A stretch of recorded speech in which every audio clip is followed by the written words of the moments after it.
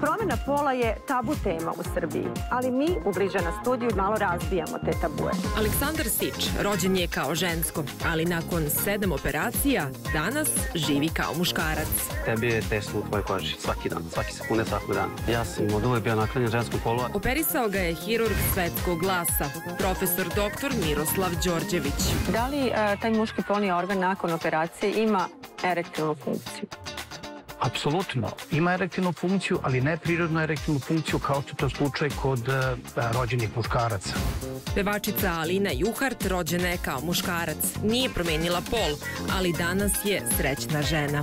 Prvo sam mislila da, da sam gej, odnosno da mi se samo sviđa muškarci, pa sam onda u svakoj vezi bila u toj nekoj ženstvenoj ulozi.